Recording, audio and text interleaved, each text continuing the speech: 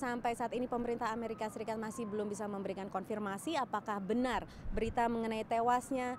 Muammar Gaddafi seperti yang dilaporkan oleh Perdana Menteri uh, dikonfirmasi oleh Perdana Menteri Libya sementara Muhammad Jibril uh, setelah uh, tewas dalam baku tempur di kampung halamannya di kota Sirte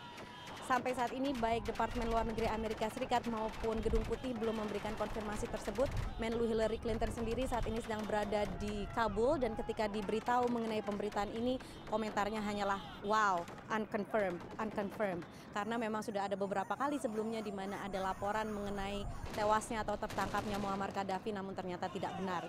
Reaksi masyarakat Amerika sendiri juga tidak seperti pada saat tewasnya Osama bin Laden di mana ada luapan emosi sehingga masyarakat turun ke jalan. Namun dari pengamatan saya di kota Washington DC ini rakyat tampaknya biasa-biasa saja dan meneruskan aktivitasnya seperti biasa dan ini bisa dimaklumi